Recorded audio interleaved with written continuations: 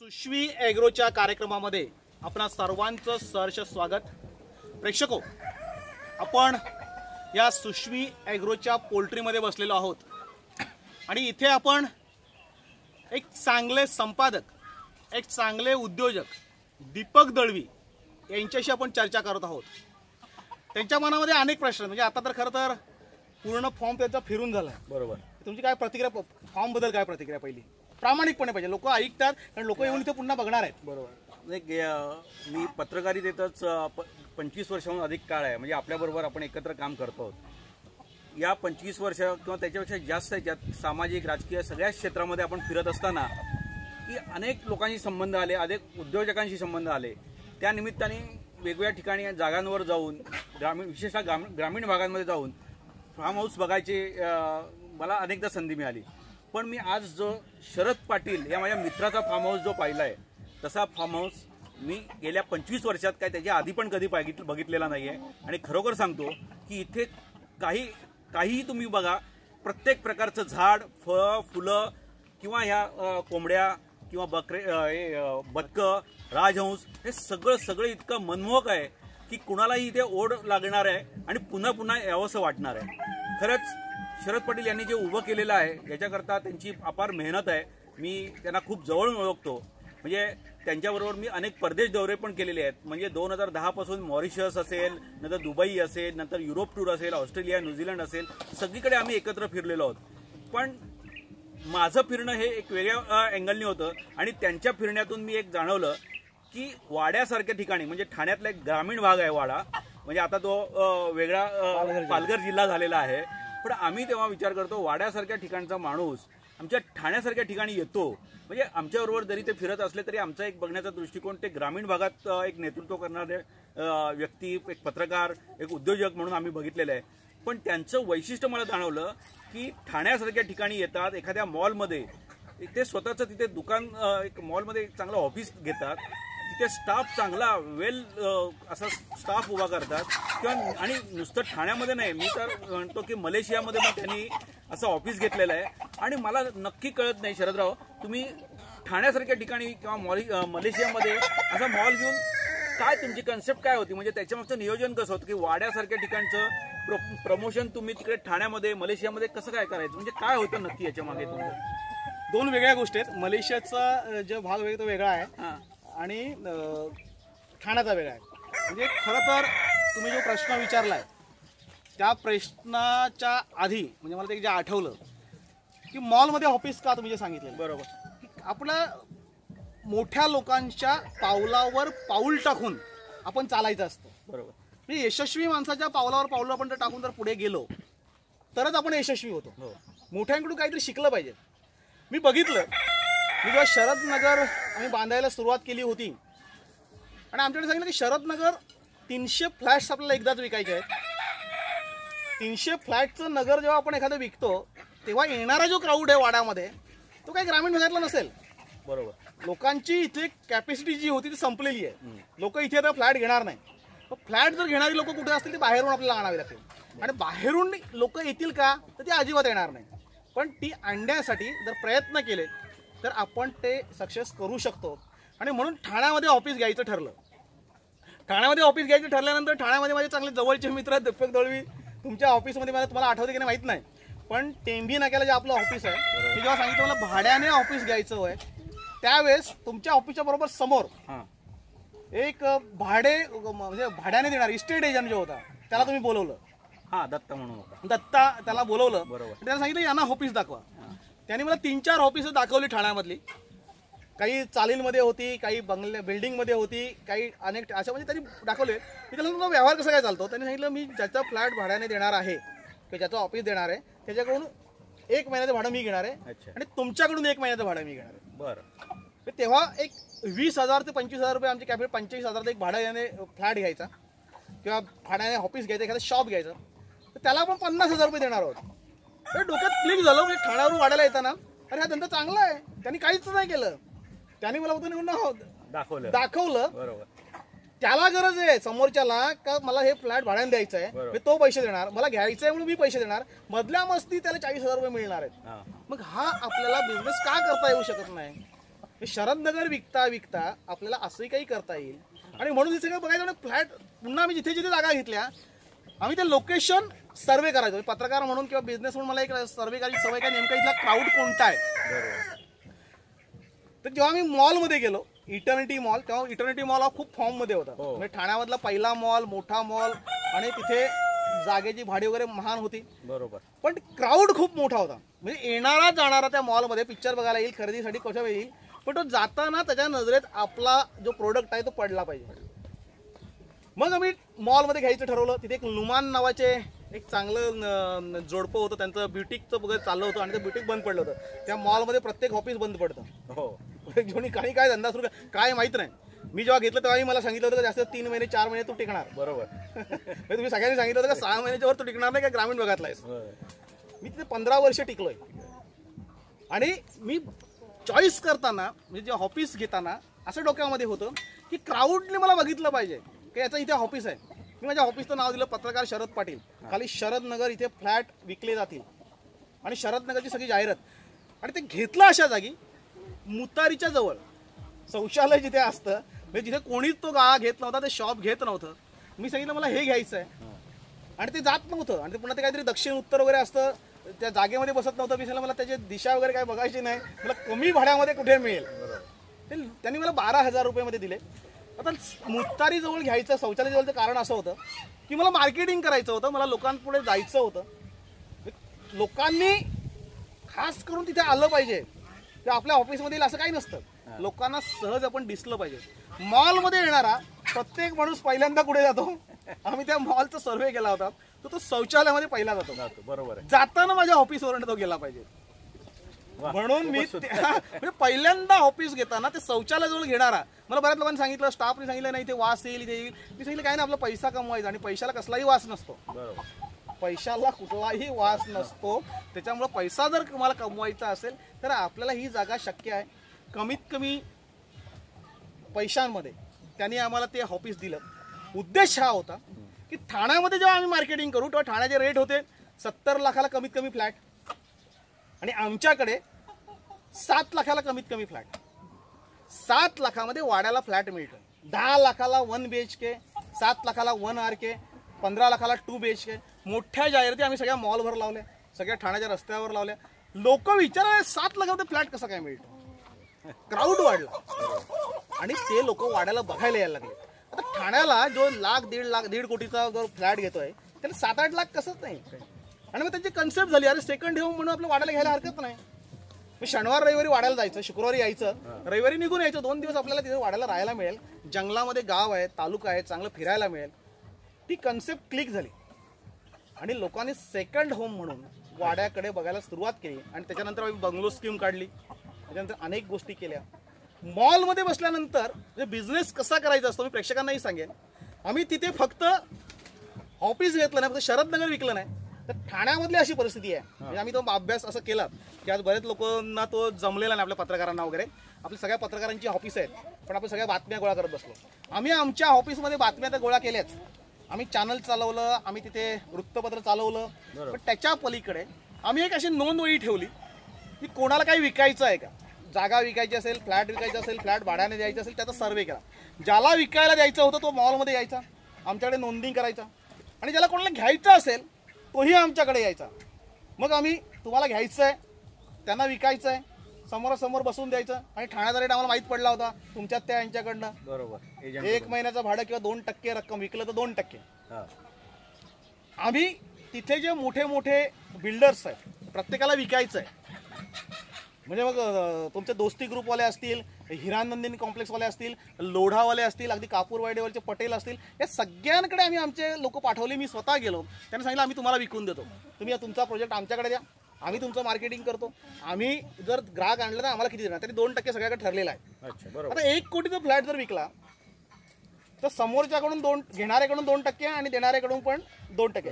चार टक्के. म्हणजे चार लाख रुपये तुम्हाला सहज मिळाले. मी पहिल्यांदा मला माहिती आहे मी ठाण्यामध्ये टिकणार नाही. माझा चेहरा माझं बोलणं माझं वागणं हे सगळं.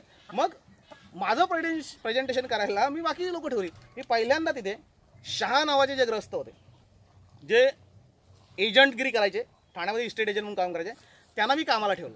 तुला महिन्याला किती मिळतात? तर मग चाळीस पचास मिळतात. तर मला चाळीस पचास मीच तुला देतो चल ये. त्याला मी ठेवलं.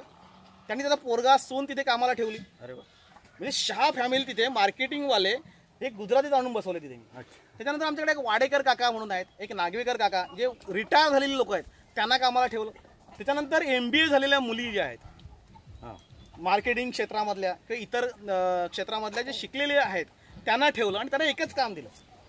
दिवसामधून तुम्ही शंभर लोकांना कॉल करायचे. तेव्हा आमच्याकडे त्या सगळ्या कॉलिंगच्या लिस्ट यायच्या प्रत्येकाचे फोन नंबर यायचे श्रीमंत लोकांचे फोन नंबर वेगळे हॉटेलवाल्यांचे वेगळे बिल्ड बिल्डर लोकांचे वेगळे डॉक्टरांचे वेगळे सगळ्यांचे फोन लिस्ट आमच्याकडे तयार होत्या बरोबर. तुम्ही इथे शंभर लोकांना फोन करायचा. समोर तू शिव्या दे ऐकू न ऐकू काही न तुला पगार मी देणार आहे कॉलिंगचं. तू रोज एक हजार टेक्स्ट मेसेज करायचे. तू पाचशे मेल पाठवायचे. प्रत्येकाला काम नेमून दिलं आणि वर्षातून फक्त शरदनगरचा एक फ्लॅट एका महिन्यातून एक फ्लॅट विकायचं सांगितलं. अच्छा. तर तिला जो मी पगार देणार आहे तो सोडवण्यासाठी तुला एक फ्लॅट विकणं गरजेचं आहे. म्हणजे आमचं टार्गेट होतं. त्या मॉलच्या ऑफिसचा जो खर्च आहे तो आमचा निघाला. तरी पण शरद पटेलचं ऑफिस मॉलमध्ये आहे. इथे शरदनगर विकलं जात आहे त्याचं जे मार्केटिंग ते होणार आहे त्या सगळ्या डोक्यात गोष्टी ठेवून आमचा खर्च निघाला पाहिजे. बरोबर. मग आम्ही काय केलं त्यांना टार्गेट दिलं. जिथे एक फ्लॅट विकायचे तिथे दहा दहा फ्लॅट विकत होतो. आता शरदनगर समजा त्याला नको पाहिजे असेल त्याला जर मोठा फ्लॅट पाहिजे असेल तर ठाण्यामधल्या सगळ्यांच्या ब्रोशर आम्ही घेऊनच बसलो होतो. म्हणजे हिरानंदानी पण आम्ही विकत होतो लोढा पण आम्ही विकत होतो पटेल पण आम्ही विकत होतो सगळं आम्हीच विकत होतो. तुमच्या बजेटप्रमाणे घर. तुमच्या बजेटप्रमाणे घर. त्याच्यामध्ये आणखीन एक डोकं झालं की लोकांना आमच्याकडली जी लोक जात होती त्यांना भाड्याने घरं पाहिजे होती. अच्छा. मग आम्ही भाड्यानेही घरं मिळतील. मग ज्यांना द्यायचे त्यांनी नोंदणी करा. ते नोंदणी करायला आले. ज्यांना घ्यायचे त्यांनी नोंदणी करा. ते म्हणजे एकाच ऑफिसमध्ये आम्ही अनेक गोष्टी केल्या. आणि त्याच्यानंतर लक्षात आलं की काही लोकांना वाडा जव्हार मोखाडा डहाणू पालघर इकडे जमिनी घ्यायच्या आहेत. बरोबर. मग आमच्याकडल्या जमिनी आम्ही आमच्याकडे सातबारे गोळा केले. त्या लोकांना त्या जमिनी दाखवल्या. त्यांना ते जमिनी प्रत्येक घटनेतून दोन टक्के मिळायचे. म्हणजे ठाण्यामध्ये बसून मी जशी पत्रकारिता केली बरोबर त्याचबरोबर चांगल्या पटीचा बिझनेस केला. आणि काही न करता काही न गुंतवणूक करता त्यांना टार्गेट दिलं तुमचा पगार तुम्ही सोडवायचा. म्हणजे मला डोक्याला नाही. पुन्हा मी ठाण्यामध्ये तुला माहिती आहे आलो तर तुमच्या कार्यालयामध्ये जायचो. पहिल्यांदा तुमच्याकडे यायचो. सोमवार आणि हो, गुरुवार दिवस. आठवड्यातून फक्त दोन वार. बारा ते चार. बरोबर. हे दोनच वेळ मी ऑफिसमध्ये बसायचो बाकी माझं ऑफिस मी वाड्यातून चालवायचो. बरोबर. मला हे जेव्हा लक्षात आलं की वाड्यात बसून आपण सगळं विकू शकतो ठाणा विकू शकतो आपण जव्हार विकू शकतो मुखाडा विकू शकतो वाडा विकू शकतो ते खूप चांगलं लॉजिक म्हणजे आपल्याला जो चांगला खर्च जो होतो तो निघायला पाहिजे. नंतर लक्षात आपण तुमच्याबरोबर आम्ही टूरला आलो बरं फिरायला गेलो. बरं. जगभर फिरताना एक लक्षात येतं आपल्या की आपल्याला तिथे अडचण जी होते ती म्हणजे भाषेची. बरोबर. म्हणजे मी जेव्हा परदेशामध्ये आम्ही जातो आपण जायचो. आपल्याला एकच एकच शब्द पाठ असायचा. हाऊ मच म्हणजे एखाद्या दुकानामध्ये गेल्यानंतर हाऊ मच त्यांनी त्याच्या इंग्लिशमध्ये सांगायचं बाबा शंभर डॉलर. मग आपण कॅल्क्युलेटर गेले शंभर डॉलरने आपल्याकडले पैसे किती ना आपण ते गोळा करत होतो. पटलं तर ठीक आहे नाही तर नाही. बरोबर. म्हणजे आपल्याला इंग्लिश बोलताच येत नाही. आपल्या हिंदीचे वांदे. आणि मराठी तिकडे कोण बोलत नाही. बोलत नाही. मग आपल्याला जर मराठी काय खायचं असेल खाद्य पाहिजे असेल आपल्याला जर चांगला गाईड पाहिजे असेल आपल्याला जर चांगल्या जर गोष्टी पाहिजे असतील त्या असायला आपल्याला मिळत कुठंच नाही. मी नऊ दिवस मलेशियामध्ये होतो. मलेशिया पूर्ण बघून झाल्यानंतर एक तिथे फेमस मॉल आहे का तिथे सगळे टुरिस्ट त्यांना तिथे घेऊन जातात. आम्ही तिथे गेलो. तिथे आपला इटर्निटी सारखाच मॉल काही बंद होत होते काही दुकानं बंद होती. विचारलं, हे बंद का? कारण मराठी माणसं ते खूप आहेत. तर म्हणे चालत नाही म्हणून त्याला भाड्याने मिळेल का?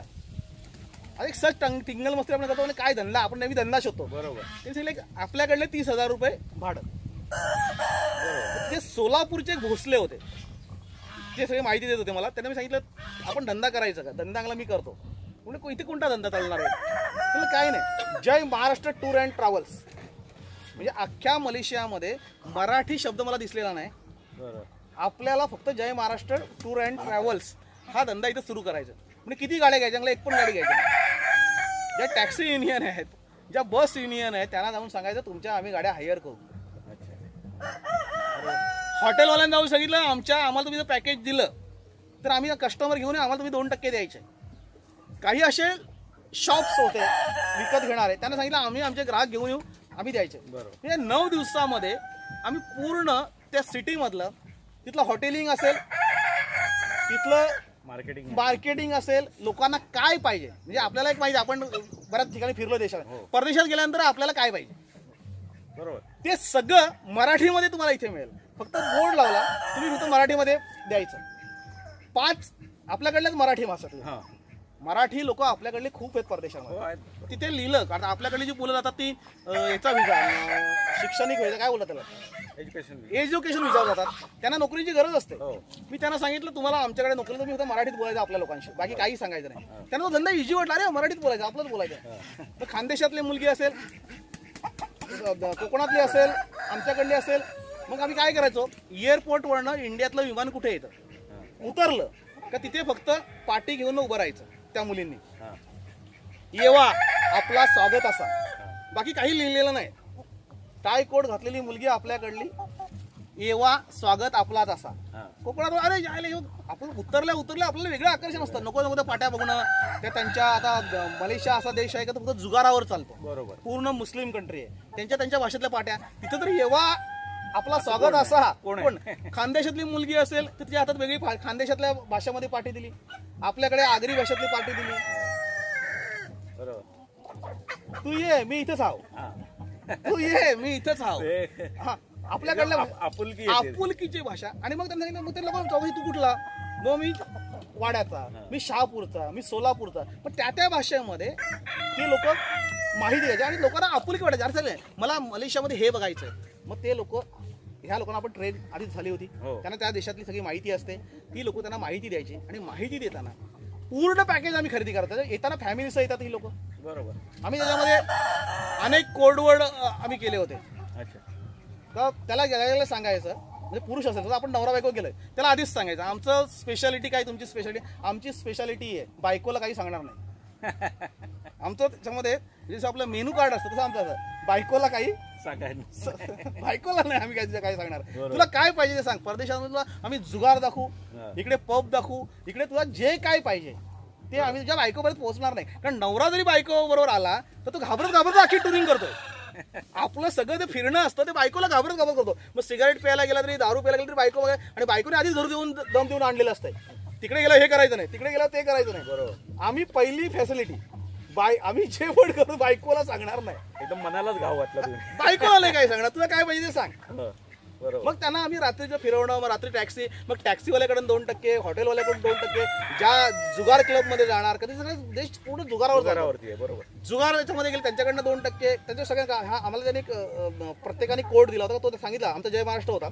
जय महाराष्ट्र त्यांनी जर सांगितलं जय महाराष्ट्रकडून आलोय तर माझ्या अकाउंटला ते पैसे ट्रान्सफर व्हायचे. समजा महिलांना खरेदी करायचे महिलांना एखाद्या दुकानात नेलं तर आमच्या गाईड गाईड जो असायचा मुलगी असेल मुलगा असेल तो सांगायचा आम्ही जय महाराष्ट्रमधून आलोय. आमचे हे कस्टमर आहेत. ते जेवढे खरेदी करतील त्याचं जे बिलिंग व्हायचं त्याचे दोन टक्के माझ्या अकाउंटला ट्रान्सफर व्हायचं. तिकडली जी सिस्टीम आहे ती सगळी ऑनलाईन आहे. ओके.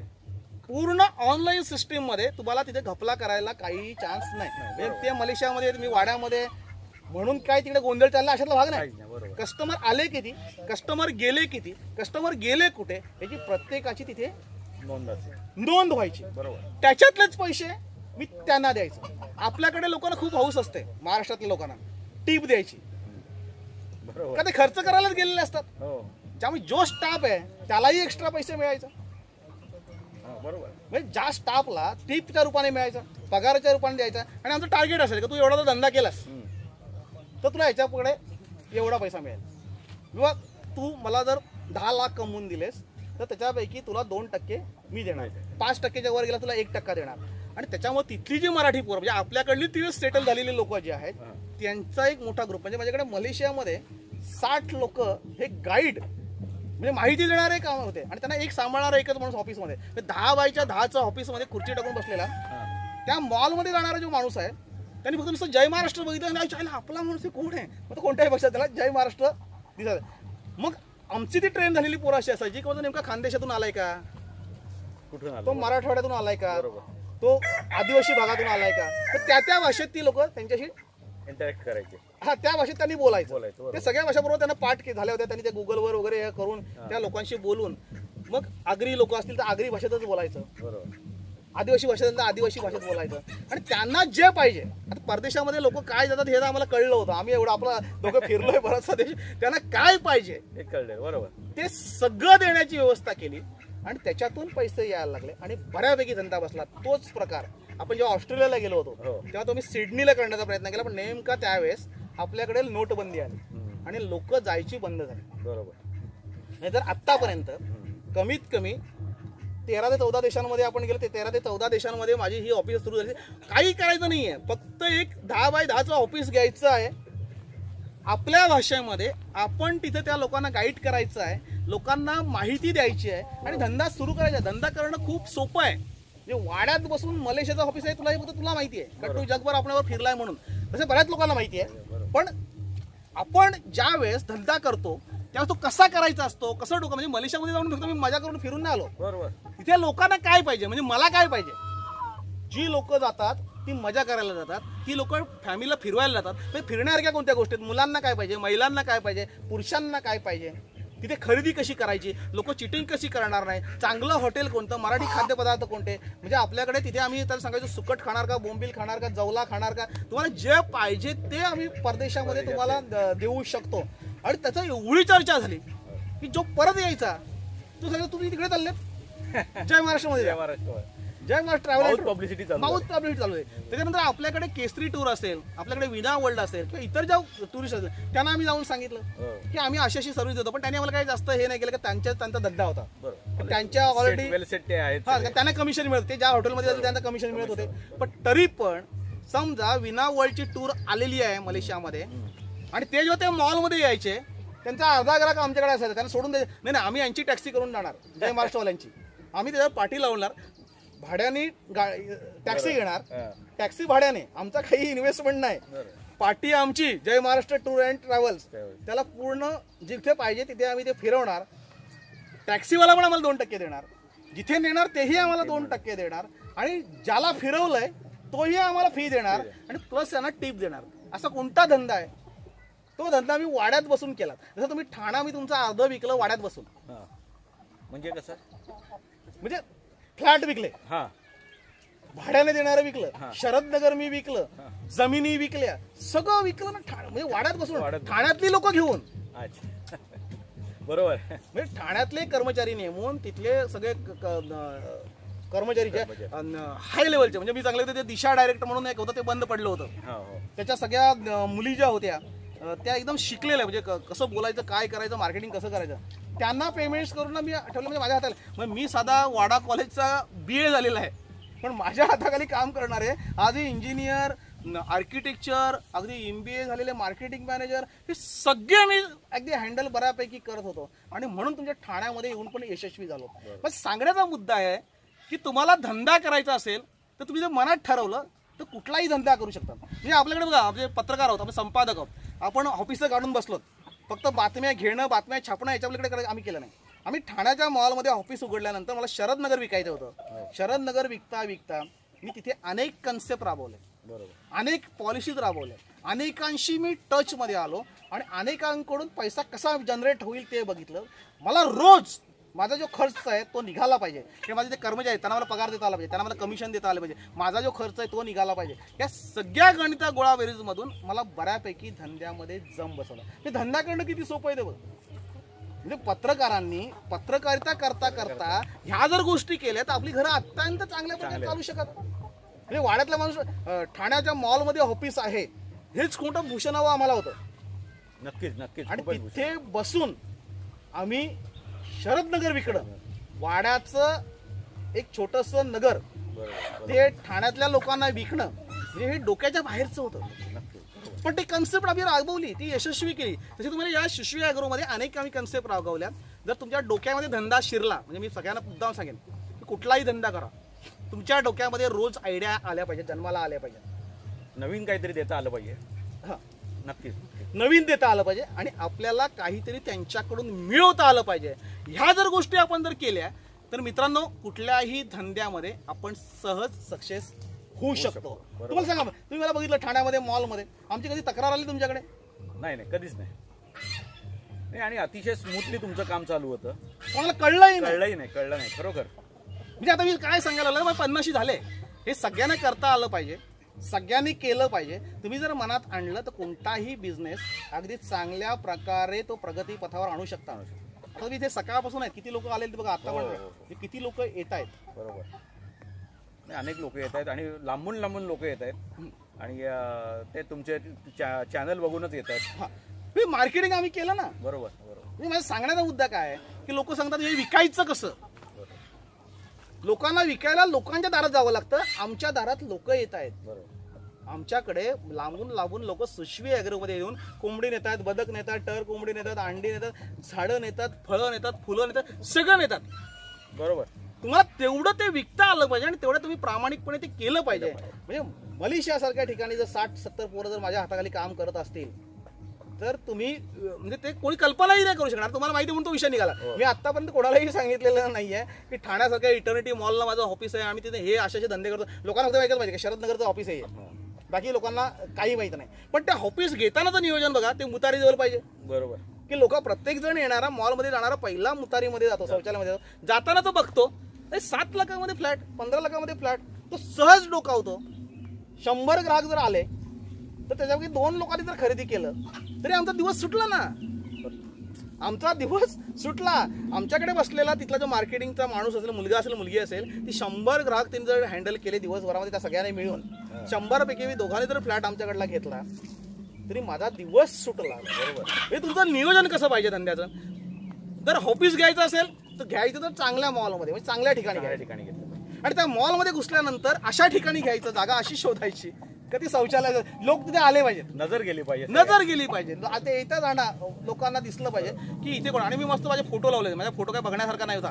पण तुम्ही बघितलं मॉलमध्ये गेल्यानंतर शरपडीला फोटो. लोक चर्चा अरे हा काय माणूस इकडे विकतोय? हा काय करतोय? ते तुमचं नियोजन होतं. तुमच्या यामागे एक हेतू. होता. तो साध्य करता आला पाहिजे. त्या दृष्टीने काम केलं हा तुम्ही बघा ना विमानतळावर पाच मुली वेगवेगळ्या भाषेमध्ये बोर्ड घेऊन आहेत. येवा आपला स्वागत असा. की ये मी हाव इथं. इथं.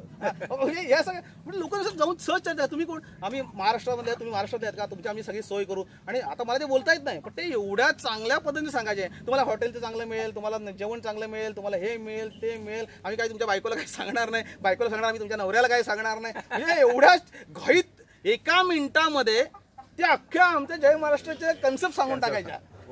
आणि ते लोक सांगायचे नाही तुमची टॅक्सी आम्ही करतो. मग टॅक्सीवाल्याला बोलवायचा आपला बोर्ड बरोबर तिथे टाकायचा. आमची जय महाराष्ट्र ट्रॅव्हल सुरू एक रुपयाची गुंतवणूक नाही. खूपच सुंदर. धंदा करणं ज्याला जमलं तो इझी धंदा करू शकतो. मी सगळ्या प्रेक्षकांना सांगतो तुम्हाला जर धंदा कसा करायचा ऐकायचा असेल किंवा आम्ही जे केलेले धंदे ऐकायचे असतील तर मी आणि माझे उद्योगधंदे अशी एक मालिका आपण याच्यामध्ये केली मालक व्हायचं स्वप्न बघा. तर ती पूर्ण जर मालिका तुम्ही जर बघितली तर नक्कीच आपल्याला पण याच्यामधून काहीतरी घेता येईल.